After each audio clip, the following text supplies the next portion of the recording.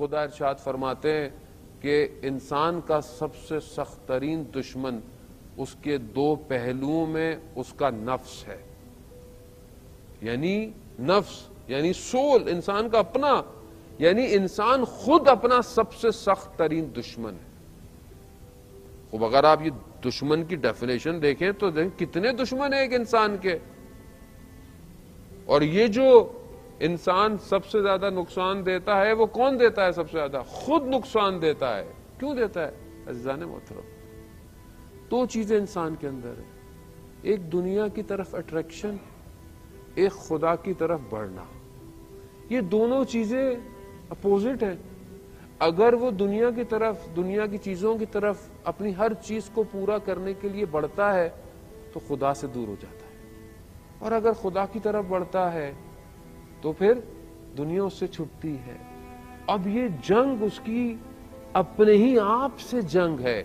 یعنی گویا دو میں انسان کے اندر چھپی ہوئی ہے۔ اور یہ دو میں آپس میں جنگ کر رہے ہیں۔ ایسی ہے۔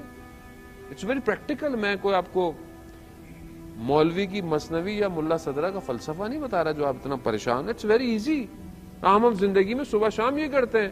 خوب آپ صبح اٹھتے ہیں۔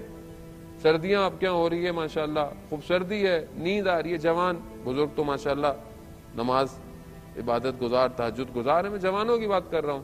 ابھی جوان رات کو سویا ہے، دیر سے سویا ہے، جو بھی سویا ہے۔ اب صبح فجر میں اٹھنا ہے۔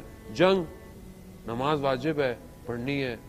نیند بھی آ رہی ہے، بستر بھی گرم ہے۔ ابھی ایک جنگ ہے۔ کس سے کر رہا ہے؟ کوئی تھرڈ پارٹی ہے جو اس کو روک رہی ہے؟ ہاں خود اپنے آپ سے جنگ کر رہا ہے۔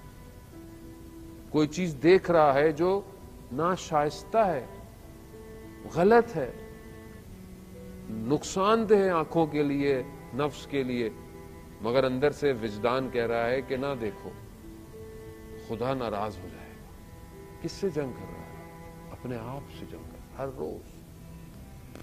عزیزان محترم، ہم کیسے خدا کی طرف بڑھے بہت آسان فارمولا۔ ہے اپنی خواہشات کو کم کرنا شروع کریں۔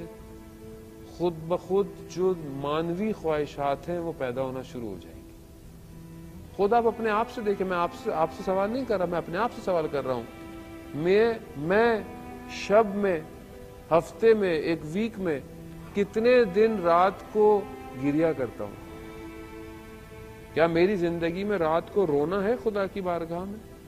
مناجات ہے، آپ نے دعائے کو محل پڑی مولا متقیان نے جو ہے وہ تعلیم فرمائی، حضرت خضر کی دعا ہے۔ یہ میں پڑھ لیتا ہوں، پوری پوری پڑھ لیتا ہوں، لیکن میری آنکھ میں ایک بھی آنسو نہیں آتا۔ یا مناجات امیر المومنین ہے یا ویسے ہے مناجات نہیں بھی پڑھوں۔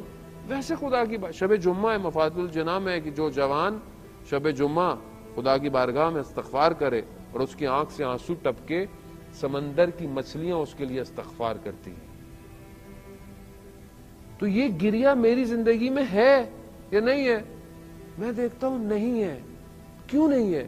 کیونکہ میں دنیا میں جس چیز کو دیکھتا ہوں، دیکھتا رہتا ہوں، جو کھانا ہے، کھا لیتا ہوں، جو سننا ہے، سن... یعنی گویا میں دنیا کی ہر چیز کو اکوپائے کر رہا ہوں۔ دنیا دار ہو گیا۔ اگر میں اس کو تھوڑا تھوڑا کم کروں تو مجھے محسوس ہو کہ شب میں رات کو اٹھ کر دو رکعت نماز پڑھنے کی لذت کیا ہے؟ خدا کی بارگاہ میں سجدے میں گریا کرنے کی لذت کیا ہے؟ تذکرت الاولیاء میں اتار نشا پوری جو ہے وہ ایک لوہار کا واقعہ لکھتے ہیں۔ بڑا عبادت گزار تھا پرہزگار تھا۔ ایک لڑکی آئی کنیس تھی۔ اسے دیکھا، اس کو عاشق ہو گیا۔ اب ہر چیز کرا، لیکن اس سے نہیں مل پایا تو سنا کسی شہر میں ایک اور کوئی جادوگر رہتا ہے۔ وہ سارے عمل کر سکتا ہے۔ تو چلا گیا، اس تک پہنچ گیا۔ اس سے کہا کہ مجھے ایک لڑکی سے عشق ہو گیا ہے مجھے اس کو حاصل کرنا ہے۔ تو اس نے اپنا جادو سے کچھ کیا۔ تو اس نے، نہیں ہوا وہ۔ کہا کہ تم نماز پڑھتے ہو؟ کہتا ہاں میں پانچ وقت کی نماز پڑھتا ہوں۔ کہا، اللہ کا ذکر کرتے ہو؟ کہتا ہاں میں اللہ کا ذکر کرتا ہوں، نیک کام کرتا ہوں۔ کہا، چالیس دن تک سب چھوڑ دو۔ نماز چھوڑ دو، اللہ کا ذکر، کوئی کام اچھا نہیں کرو۔ کہہ رہا، ٹھیک ہے، چالیس دن بعد آنا۔ گیا، چالیس دن نماز نہیں پڑھی۔ اللہ کا ذکر نہیں کیا۔ وہ انسان دنیا میں اتنا محو ہو جاتا ہے۔ واپس گیا اس کے پاس۔ اس نے بولا، چالیس دن کوئی اچھا عمل نہ، میں نے کہا، میں نے کچھ نہیں کیا۔ اس نے پھر کوئی جادو سے کیا؟ پھر کچھ نہیں ہوا۔ کہا تم نے، سچ کہا کہ تم نے چالیس دن نماز؟ کہہ رہا، نہیں، میں نے نہیں پڑھی ہے۔ کہہ رہا، نہیں، کچھ کام ایسا کیا؟ کہہ رہا ہے کہہ رہا ہاں میں ابھی تمہارے پاس آ رہا تھا، تو رستے میں ایک پتھر پڑا ہوا تھا۔ میں نے اس پتھر کو کنارے پہ کر دیا کہ شاید کوئی کہیں اس سے لگ کے گر نہ جائے۔ جادوگر نے اسے بولا، جاؤ تم یہاں سے، چلے جاؤ۔ کہا، کیوں؟ کہہ رہے وہ چالیس دن تم نے نماز نہیں پڑھی، ذکر نہیں کیا۔ مگر پھر بھی خدا تمہارے قدموں سے تمہیں بچا رہا ہے۔ خدا اتنا مہربان ہے۔ خدا تو موقع دیتا ہے کہ کوئی ایک جگہ پر یہ آ جائے۔ کوئی مشکل سے، کوئی بیماری سے، کوئی پریشانی سے۔ کسی طریقے سے میرے پاس۔